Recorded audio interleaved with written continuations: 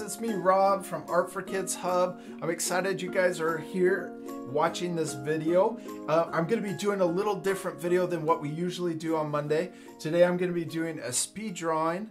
I haven't done one for a while, so I'm really excited. But we're still going to do the Show Your Art slideshow at the very end of this video, so be sure to stay till the very end to see the art that we featured. We love getting all of your art, so if you would like to send us some of the drawings that you've done, be sure to email a photo, have a parent or an adult take a photo of the art that you've done last week or this week, and then send it to us. Send that one photo to myart at artforkidshub.com, and we'll feature you next Monday. We love looking at all of your art, so please send us all your drawings. In my past speed drawings, what I've usually done is just draw with a pencil and a smudger and a kneaded eraser on white printer paper. This time I'm going to be drawing a little different. I'm going to use some different materials.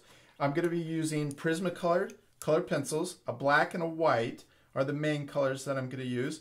And then I'm possibly going to use this, it's kind of a tan color. It's called Ginger Root.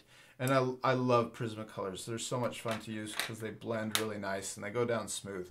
And then I'm going to be drawing on this pastel uh, Canson paper. I love I love this kind of paper because it's got a good, a nice tooth to it. And this uh, pad of paper that I bought from Hobby Lobby has a bunch of different colors and shades.